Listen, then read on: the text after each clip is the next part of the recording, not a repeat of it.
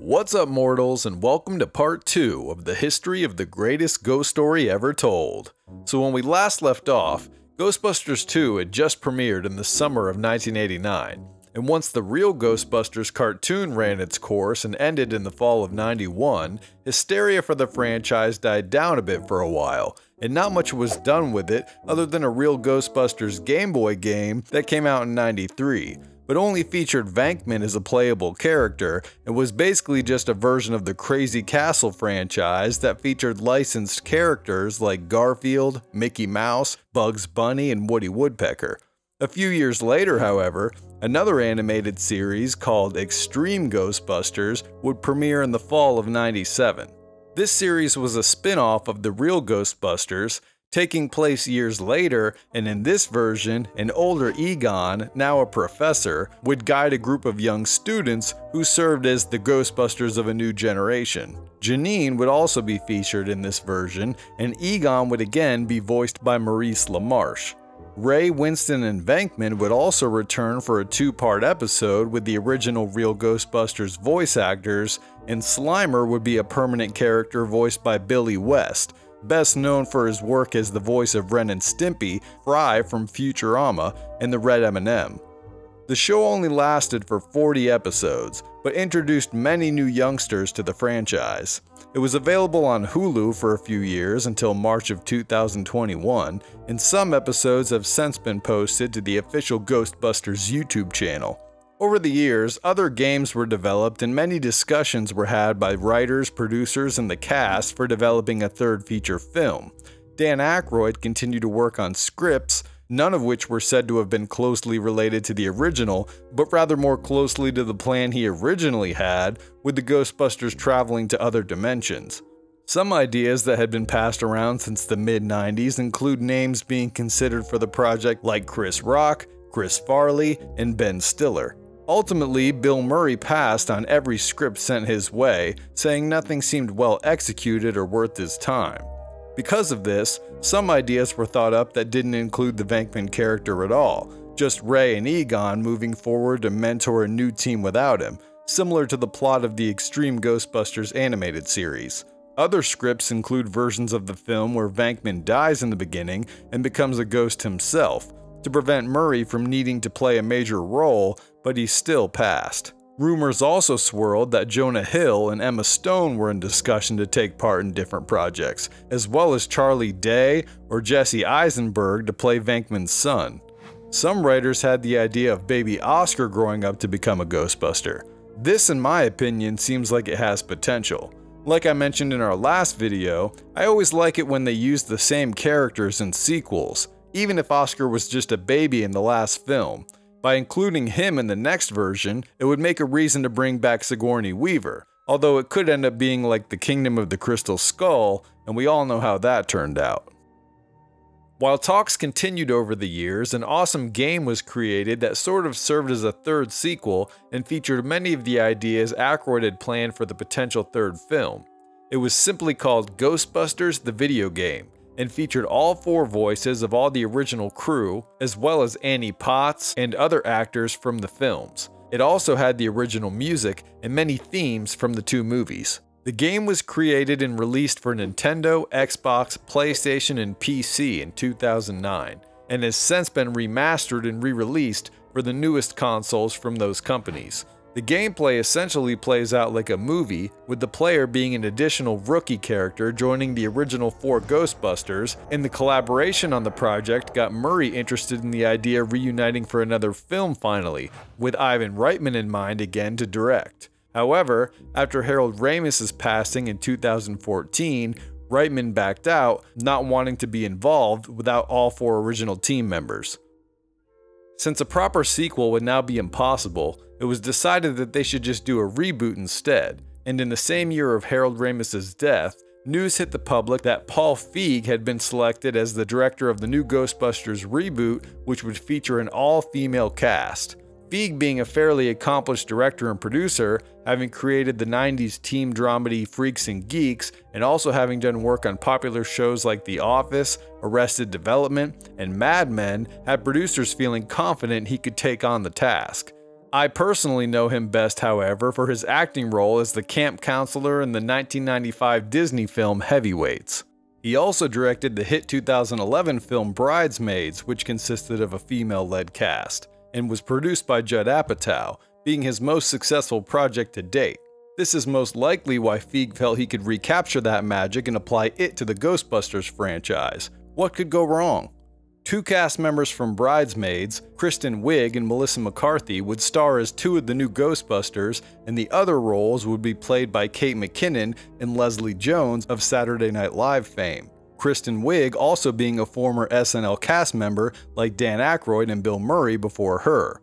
Chris Hemsworth was brought on to play the supporting male version of the Janine character in this movie, only instead of being a witty, helpful, appreciated addition to the team, the character was portrayed as the typical incompetent, dumb white male, unable to measure up to the genius of his strong, capable, intelligent, stunning, brave female employers. In this version of the story, two physicists, Abby Yates and Erin Gilbert, played by McCarthy and Wiig, are reunited when Gilbert realizes Yates has re released Ghosts from Our Past, a book co authored by the two detailing their investigations of the paranormal, prior to Gilbert giving up on the research and the relationship. Once Erin visits Abby to discuss the re release of the book, she meets Jillian Holtzman, Abby's new research partner, played by Kate McKinnon and while joining them in a visit to a haunted mansion, they come across a ghost that excites them all and leads them to starting the Ghostbusters business. They can't afford a cool firehouse to run the business from like the original movies, so they instead move into an apartment above a restaurant before hiring Kevin, a handsome but completely moronic hunk to be their assistant. Soon after, they meet Patty Tolan, a subway worker who encounters a ghost while on the job, played by Leslie Jones, and they hire her as the fourth Buster. In this film, the ghosts are generated from a portal to another dimension created by Rowan North, a madman on a power trip who's obsessed with the paranormal and has a plan to terrorize the city with an army of supernatural beings, even becoming a ghost himself. Once he does, he possesses Kevin using his body to release the ghosts from the portal, before transforming into a giant CGI version of the original Ghostbusters logo and attempting to destroy the city. But before he can, he's stopped by the Ghostbusters, who send him and all the other ghosts back through the portal and close it, saving the day. This movie was not well received. Many Ghostbusters fans had negative opinions about the project prior to the movie's release, in anticipation for what they viewed as an abomination of their beloved franchise. And unfortunately, they knew exactly what they'd be getting. Once the movie was released, opinions didn't really change. Most people felt the same way about this film that they do about most reboots in the 21st century. They wished the producers had just left it alone. The opinions of critics, however, had a much different vibe. The only problem is, everything in the 21st century is so political that you can no longer count on the reviews of critics to determine if a movie is watchable, let alone good. Although you could argue that the critics of the 20th century really couldn't be trusted either. Back then, they seemed to pan anything that wasn't some kind of Oscar worthy masterpiece, especially in the comedy genre. If they hated it, there's a good chance you'd love it. Whereas now, critics' opinions are the exact opposite. If they love it, you better believe you're gonna hate it. And that couldn't be more true than when it comes to Ghostbusters 2016. Most critics had positive opinions, but it seemed like they were more focused on propping up a group of women playing roles that were originally created for men, rather than focusing solely on what's important here, which in my opinion is the same thing I already mentioned in the last video regarding Ghostbusters 2. Is the story good? Were the special effects good? Was it well executed? And is it funny? Unfortunately, this film fails on all fronts, but the critics just seem to want to prove that Ghostbusters don't need no man, and that the fans were wrong to assume the movie would be bad for featuring women. This is pretty obvious when review after review essentially says the same thing along the lines of the following. Ann Hornaday of the Washington Post says, Sunny, slimy, and profoundly silly. The new lady-centric reboot of Ghostbusters immediately silences the backlash and bluster that's preceded it, never deigning to take the skeptical and just plain sexist bait that's been thrown its way since the project was first announced. Amy Nicholson of MTV News says, The big CG sequences are less captivating than simply watching the four ladies kick it with a pizza. Wiig and McCarthy nestle into their comfortable roles as the soft spoken Pris and the bustling madwoman, leaving room for Jones to barge in with her big punchlines. But keep your eyes on the background, because that's where Jones's Saturday Night Live co star Kate McKinnon lurks, quietly transforming herself into a movie star. Punchlines are the least of what's big about Leslie Jones, but she got the CGI part right. Steve Persall of the Tampa Bay Times says, Ghostbusters is back. It's not bad. Get used to it. Relax, trolls. Your precious Ghostbusters are in good hands. Not great mitts like Bill Murray, but good enough to silence the online rabble, a backwards sexist bunch. We should now hold the truth as self evident that all Ghostbusters are created equal, even women, especially those as comically gifted as those in Paul Feig's reboot. If Ghostbusters now becomes the franchise that the original couldn't establish, then thank those women. Plus Chris Hemsworth, a token male in a blockbuster for a change. What is this guy talking about? A multi film, multi series, multi billion dollar franchise. Yeah, the original creators didn't establish anything. We need Melissa McCarthy and Leslie Jones to do that. Rene Rodriguez of the Miami Herald says, this movie will disappoint basement dwellers who worried a female centric Ghostbusters would somehow ruin their childhoods, because it isn't bad enough to hate. But the film is an even bigger letdown for fans of Melissa McCarthy, Kristen Wiig, Leslie Jones, and Kate McKinnon, who are forced to play most of the material straight, with no room for comedic improvisation. Oh, so it wasn't their fault they weren't funny, they just had no room to be funny. Apparently, Rene Rodriguez isn't aware that they were given room to improvise. They just didn't utilize the space. The air went out of the room a little bit when Chris Hemsworth walks onto your set. I mean, the first scene we were doing with him was his interview scene with the ladies, and suddenly he's just started improvising jokes, and the ladies looked at me like, "Did you write that for him?" I was like, "I he's he's off book. He's going for it." Maybe she hasn't seen the original, but a majority of those films was also played straight. Hey, where these stairs go? Most of the comedy came from subtle witty lines and dry humor. They go up. But at least some critics were honest about this film. David Rooney of The Hollywood Reporter says, It's all busyness, noise, and chaos, with zero thrills and very little sustainable comic buoyancy. Richard Roeper of the Chicago Sun-Times says, Ghostbusters is a horror film from start to finish, that's not me saying it's legitimately scary, more like I was horrified by what was transpiring on screen. Roeper, who was Siskel of Siskel and Ebert's replacement when he passed, is one of the few critics who actually holds on to the 20th century critical sensibilities, so it's no surprise that he felt exactly how you'd assume Siskel and Ebert would have felt if they were around to critique this movie.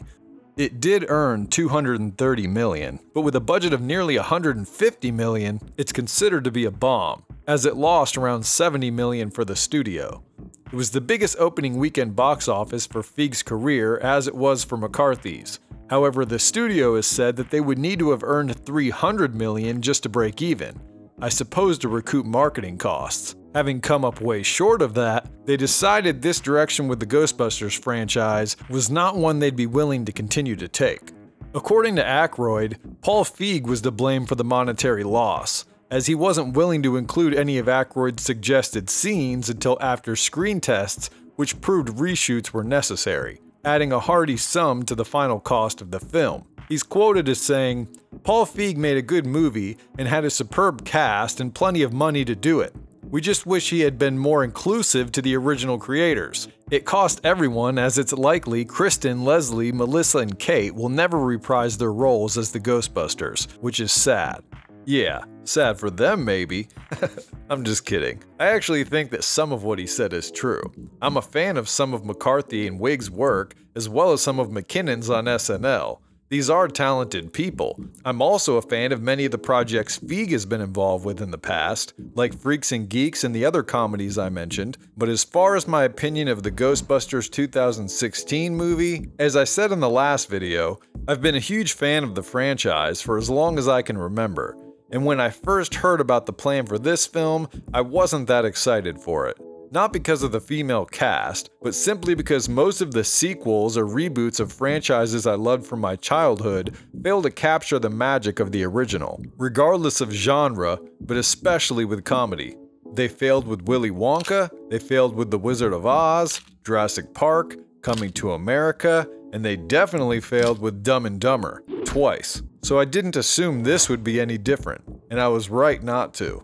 After seeing it twice, I solidly felt the story wasn't funny, exciting, or memorable. In fact, I fell asleep while watching it the first time out of boredom. I legitimately only laughed once, and that laugh came from Chris Hemsworth's character when he attempted to design a logo for the ladies.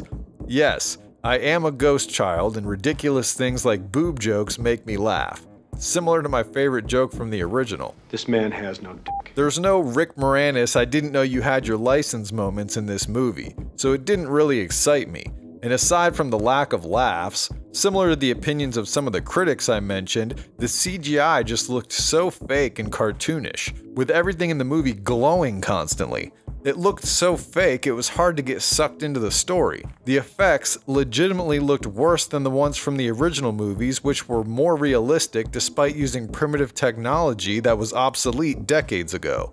And the ghosts in the original had a glow to them, but it was subtle and didn't look like the entire movie was filmed at some kind of haunted rave.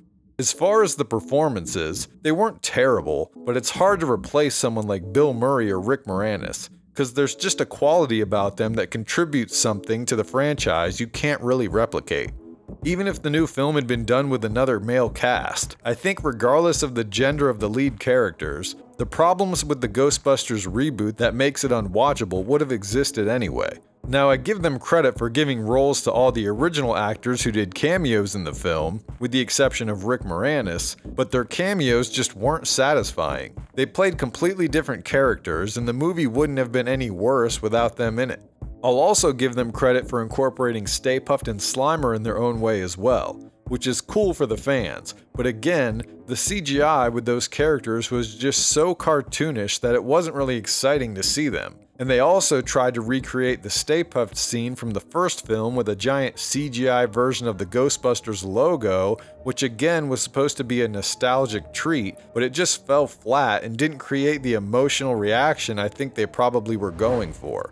One last criticism I have of this film is the way they were just blowing up ghosts and destroying them rather than really capturing them like in the original movies. I get that they wanted to have that girl power action scene, but it just seemed a bit off brand.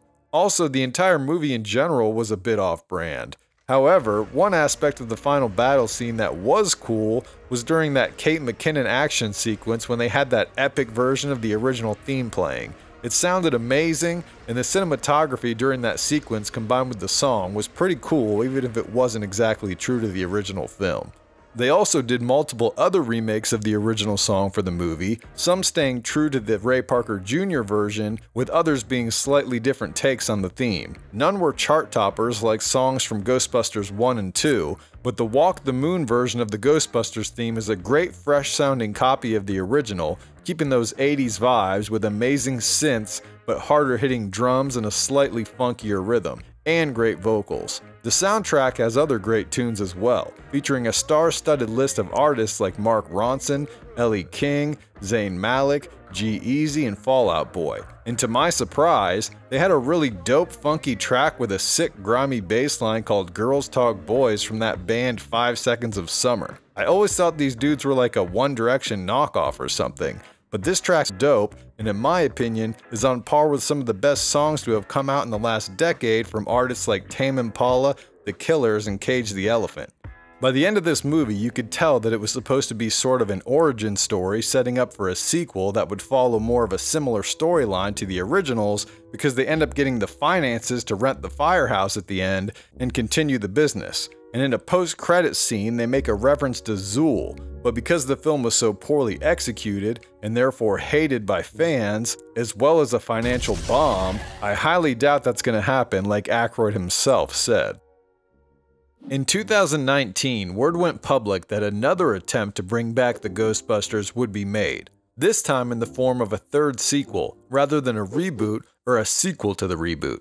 In order to keep the vibe of this film in line with the originals, Ivan Reitman's son, Jason, was chosen to co write the script with Gil Kenan, as well as direct, with Ivan signing on as a producer. Upon making this announcement, Jason also stated this movie would be a continuation of the original Ghostbusters story, ignoring the 2016 version. However, this was not meant to be a knock at the film or anyone involved with it, he simply wanted to create something that was more part of the original story, a film that he hoped would leave Ghostbuster fans feeling satisfied. He said some aspects of this film were inspired by the work of Paul Feig in the 2016 version of the story, again casting females in lead roles as well as two males. Dan Aykroyd loved the script and the concept Jason came up with for the new movie as it would tie together all three films, minus the 2016 reboot, creating a sufficient next generation of Ghostbusters with a proper passing of the torch, so to speak. Even Bill Murray loved it and finally agreed to reprise his role as Peter Venkman, as did Aykroyd and Hudson. Harold Ramis's daughter also approved and gave her blessing after reading it, feeling it had the potential to capture the spirit of the first two films. For the main lead character of the movie, Phoebe Spengler, a young actress named McKenna Grace was chosen. Finn Wolfhard, best known for his work in the It movies and Stranger Things, would play her brother, another Buster. Unknown actress and actress Celeste O'Connor and Logan Kim would play the love interest and friends of the two who joined them to complete the new squad of teen Ghostbusters. For this film, Reitman and the production team made a strong effort to analyze and recreate the look and style of creatures from the originals, something that seemed not to have been done in the 2016 version. They also used the animated Real Ghostbusters series as inspiration for one of the ghosts. In order to bring back Egon in this movie, as well as to honor the late Harold Ramis, he would return as a ghost, similar to the idea they once had for the Venkman character. They used digital makeup to create the spirit of Egon, with Ivan Reitman standing in at times to play him. According to Jason, emotions were running high on the set, with him claiming that he wanted to replicate a recipe and taste something he used to have as a child while on the original set with his father directing. Truly, some magic was felt during the creation of this movie, and the audience would soon feel it too. In 2019, principal photography began in Alberta, Canada, and lasted until October. The score for this film would also closely resemble that of the originals, using the original composer, Elmer Bernstein's son Peter, as a consultant, as well as incorporating some classic country and soul tunes to set a slightly different mood in this movie than the other two, as this one would take place in a more rural setting. Ghostbusters Afterlife was supposed to be released in July of 2020, but unfortunately, due to the global pandemic, they were forced to push back the date multiple times until finally deciding on a premiere date of November 19th, 2021. Ghostbusters Afterlife takes place in the small town of Summerville, Oklahoma, where Egon has spent the last years of his life on a farm, analyzing the paranormal activities stemming from a local haunted coal mine. After suffering from a fatal heart attack caused by an aggressive poltergeist, his daughter moves to the town to inherit the farmhouse with her teenage son and daughter, Trevor and Phoebe. Not long into their stay, Phoebe realizes the house is haunted, which leads her to discovering her dead grandfather Egon's old Ghostbuster equipment, specifically a ghost trap. After taking the trap to school to show her new best friend podcast, her teacher Gary sees what she has and explains the history of the Ghostbusters and their work in Manhattan during the events of the previous movies. They then try to open the trap, releasing a creature that immediately returns to the haunted coal mine. Soon after, Phoebe realizes the ghost haunting their house is that of her grandfather, who guides her to finding the rest of the original Ghostbuster equipment, which her and Podcast attempt to practice using. They then come across another ghost on the farm, this time a dangerous one, and with the help of her brother Trevor, they start up the old Ecto 1, which is hidden away in a barn on the property, and chase the ghost through the town, attempting to zap and trap it. After getting pulled over and put in jail for driving without a license, Phoebe uses her one phone call to dial the original Ghostbuster phone number she saw in an online video, and to her surprise, the number is still active, with Ray Stantz picking up the phone. He then explains the events that took place since the time of the previous films, which led Egon to move from Manhattan to Oklahoma. After being released from the jail, Phoebe podcasts Trevor and his new crush Lucky, a coworker he met at the local diner where he works, travel down into the mine to figure out what exactly is going on down there only to discover a system of automatic proton guns Egon created to prevent Gozer from escaping from a temple deep within the mine. She manages to escape anyway, but luckily, the original Ghostbusters arrive just in time to join the teens and Ghost of Egon in a battle against Gozer to once again save the day.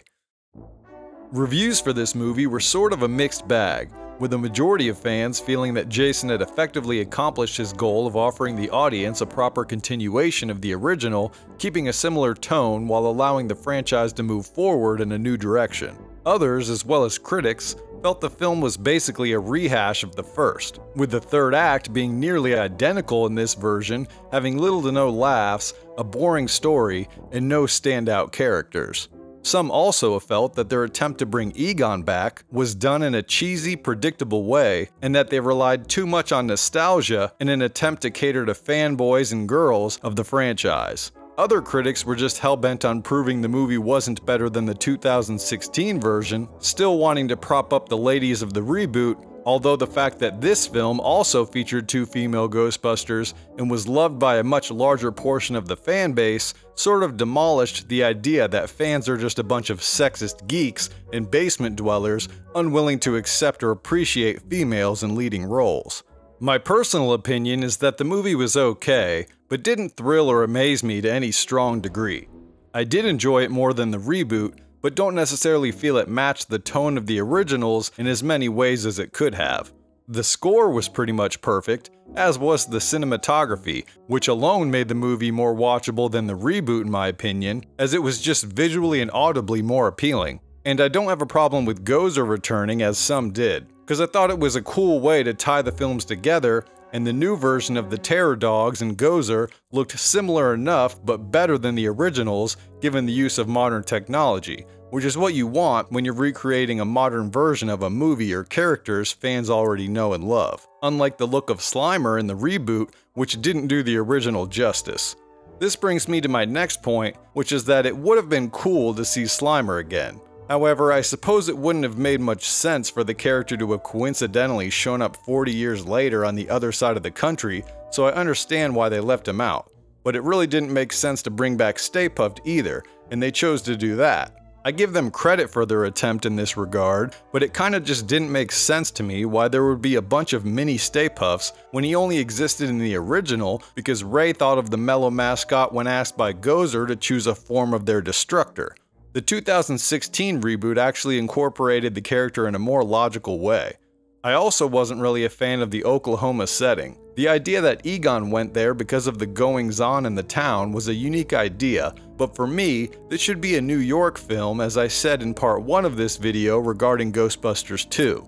I like that they kept that story in New York, and I sort of wish they had done the same here. Jason has said he made the change in order to have a different color palette for the film to set a different mood, with more of a warm golden vibe, which visually was beautiful, but a bit off brand. And some things, like the exposition dump during the phone call between Ray and Phoebe, or the way the Ghostbusters just show up randomly at the end, kind of lacked a bit of sense and creativity but I suppose I understand why they would do this to save time in the movie and keep things moving rather than burning out the audience like many new films seem to do. Although I was still kind of bored for a good portion of the movie anyway.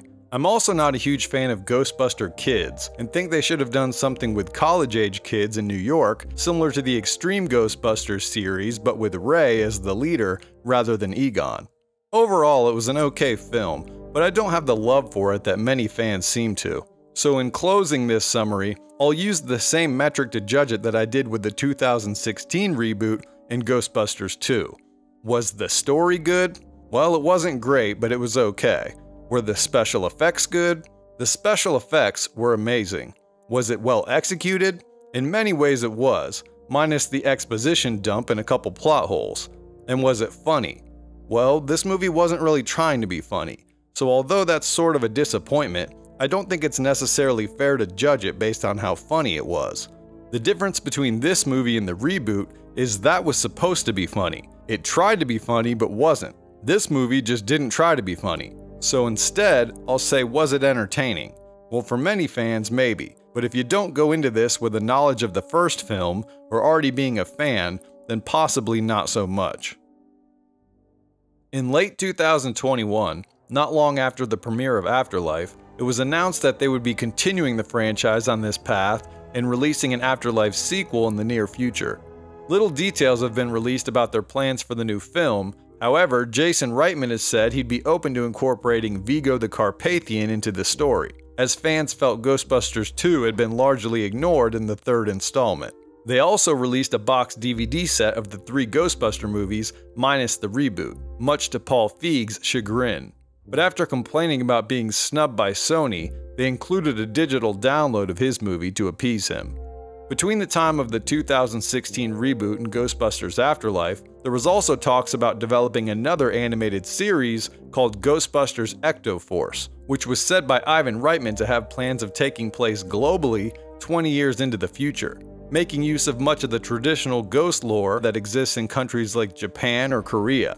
But the project was put on hold by Sony Pictures Animation until after the release of Afterlife, and little has been spoken about the project outside of an announcement in June 2022 that it would be released on Netflix and is being headed by Jason Reitman and co writer of Afterlife Gil Kenan.